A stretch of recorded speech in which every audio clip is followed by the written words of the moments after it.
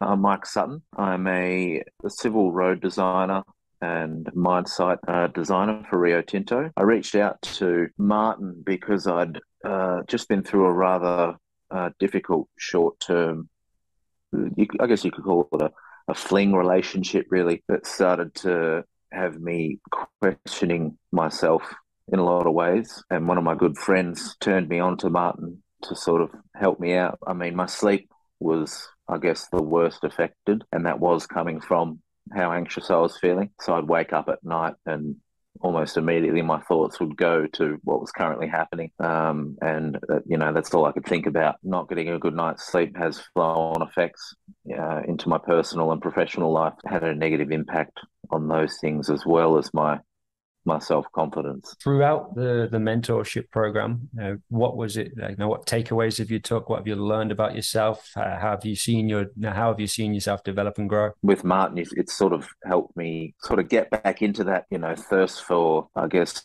wanting to learn more about things, um, learn more about myself, learn more about others, uh, about respect, values, um, and all those sorts of things, which I guess we never get taught in school, which we should. Really glad that I've sort of taken the steps to improve on that. And in terms of your your sleep, your um, your energy levels, and I guess your your confidence now, how do you feel now compared to like you know, 15 weeks ago? Oh, it's without a doubt. Um, yeah, the improvement's just, it's beyond words, really. You can ask anyone that I spend a lot of time with um, how much I've changed in the last, whatever it's been, 12, 15 weeks, three or four months.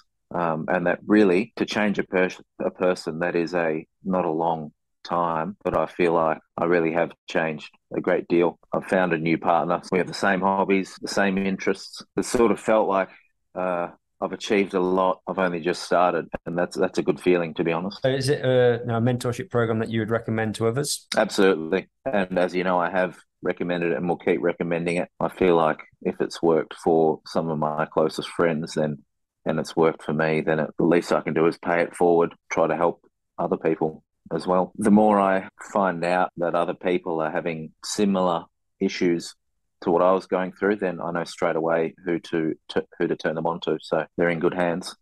Thank you. Appreciate that, Michael. Thank you.